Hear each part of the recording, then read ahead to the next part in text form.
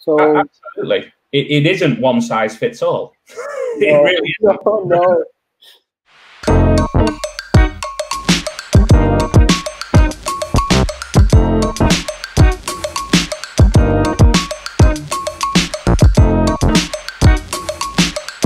Let's start with number 10 uh, personalization. Uh, it's like a buzzword. It's been a buzzword for, for a long time in our industry now. And uh, um, a couple of days ago, I published I published um, a point of view with um, uh, Max Starkov and a few other um, journalists in uh, in the industry about it, uh, and it was published by the guys at um, Hospitality Net.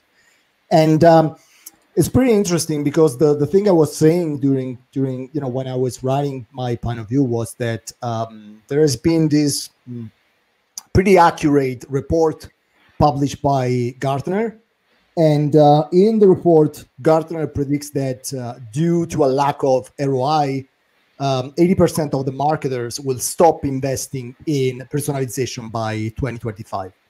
Now, the thing that uh, was that I saw this report used in the wrong context in more than than than than uh, one occasion, uh, especially by people that um, you know, and even people from the industry that were um, thinking that personalization is really only a fad and it's a passing trend.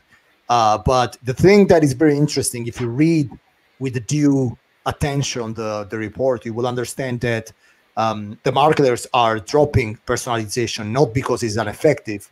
They are mainly dropping personalization because it's very hard to um, uh, to get data uh, and extract data from from yeah. silos, and it's quite hard to um, uh, you know to um, to get some kind of, of security of the data, et cetera, et cetera. So this is, uh, and I mean, it's something I say pretty much at every episode of digital. So people will probably start getting, you know, uh, uh, tired with that. But uh, you see, it's incredibly important to have control over your data. It's very important. It's it is crucial to uh, not to have uh, blockage when it comes to to um, uh, being able to access your data. And uh, you know, Maurizio, I think we spoke about that in, in several several ways now.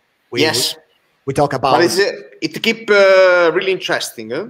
Really oh, interesting. I think you know, and uh, uh, Mihai and James, I, I, really would like to have your two cents here because it's a it's a topic that can be that can be taken from different perspective, you know, and yeah. of course from from the tech perspective, we can talk about a more you know the need for uh, open API mass adoption, or we can talk about you know the, the the increasing costs of integration. I think this could be something interesting for you to elaborate a little. Yeah, absolutely. I mean, you know, it's something you touched on in the document, and it's something that that there's a lot of information out there. You know, there's uh, a lot of the traditional. Let's you know take the, the the PMS players that are charging huge amounts, that are wanting to keep people waiting for a long time to deal with the integration. Um, we really need to foster this culture of being open to being open um, yes, we know we have the concerns around data protection, GDPR, things like that. But um, until we have a culture of where um, people are open to exchanging data, you know, it makes it makes it really challenging. And as you said, you know, hotels struggling to see the return on investment because uh, so personalization may die. Well I mean, it's a wonderful thing to be able to personalize things for guests. It enables us to bring more technology to the room. It enables us to experience the um, uh, give a greater experience to the guests. But um, while we have some older players that aren't open to being open, it's going to be very challenging for us. Very, very challenging. Yeah, well, I think uh, I think it's a trade-off too. You know, not having access to data and then trying to know enough about your customer to be able to personalize things, you're probably making some assumptions in that point Absolutely. of view.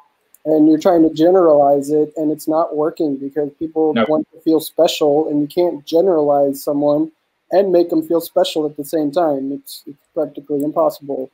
So absolutely, it, it isn't one size fits all. it no, really isn't. No, no. I mean, and we all, I think we all received the you know this is that time of the year where you always receive the the holiday newsletter right and yeah. uh, when you look at that and, I, and you know I, I had to create like a, a spam filter for that because hmm. We all you know we all every hotelier is so obsessed with personalization but then when you see that and it's really you know faithless kind of marketing action uh, you really understand that we are a long way um, Take a look at my screen. This is something I published a couple of years ago, actually, uh, and uh, but I think it's still relevant. Uh, and um, one of the things I wrote is uh, here it is: PMS integration is one of the biggest taboos in travel, a subject that you cannot openly talk about it without raising flaming controversies.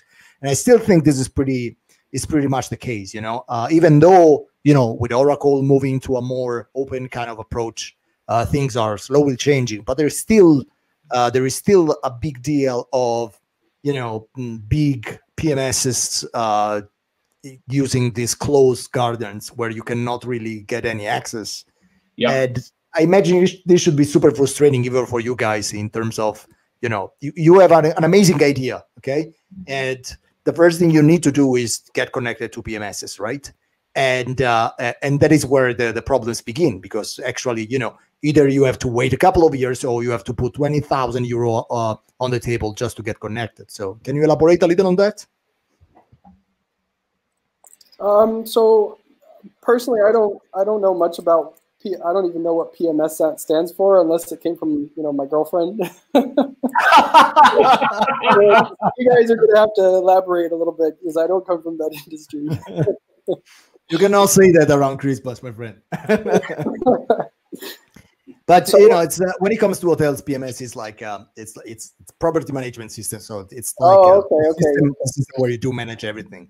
Gotcha, and, you know, gotcha.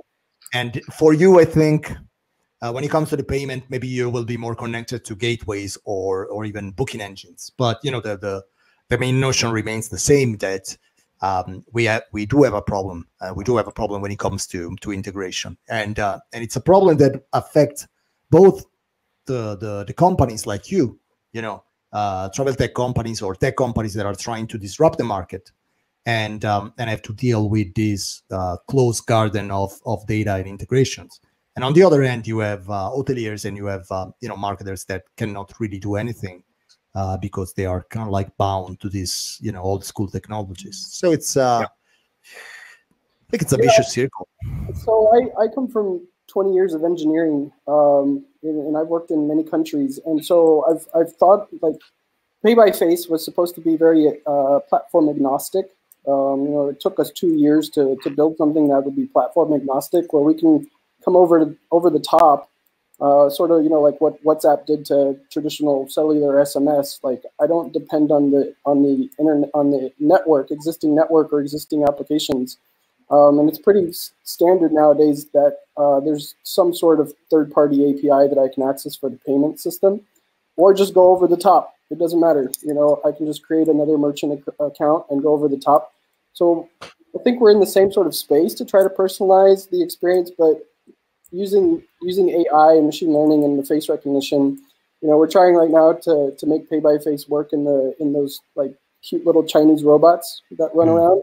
Yeah. Um, so you know, imagine if the you know the robot brings your your room service, and you know you open the door, and then you just you know it says hello because it knows who you are, or what room you're staying in, and then you just basically pay with with your face. And then when you check out of the hotel, the little robot standing there in the lobby and it recognizes you, it knows where you stayed, and, and then you can just check out, you know, with, with a nice little friendly robot. I mean, it's probably a little bit of time before those robots are going to actually be very approachable then instead of just cute. I think they have a still a kind of a cute factor. Oh, look how cute that thing is. Let's go pet it on the head. Well, know, cute but, is already something though. yeah, true. So, you know, I think I think personalization may, you know, honestly I didn't read the full report, but uh, you know, we've been trying to personalize websites since since the late 99s, you know, early 2000s. We've been trying, oh, when someone comes to the website, we can personalize it so, uh, you know, I think technology is, is going to help, but we need to take a step back and understand how to implement it in a way that it's not just cute, you know, it's actually effective. That makes sense. Mm-hmm. that makes sense. Yes. We we use very I similar. We use very similar words. I don't remember it was uh, um, Maurizio. We had Winding Trees two weeks ago, right? Yes, right. And uh, and I think what we said is, uh, you know, we were talking about conversational marketing, and we said, Yeah, you know, for now now that chatbots are not sexy anymore, uh, they are uh, they start to be useful. And I think that is, you know, there is always the case with uh, with uh, disruptive technologies.